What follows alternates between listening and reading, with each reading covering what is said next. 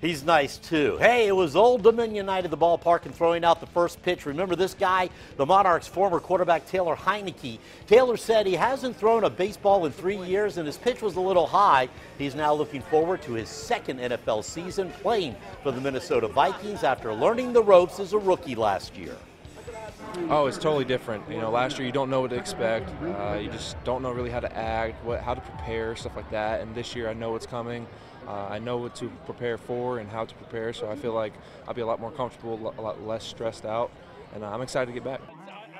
Heinicke now gets ready to head back to Minnesota in a couple of weeks for off-season workouts.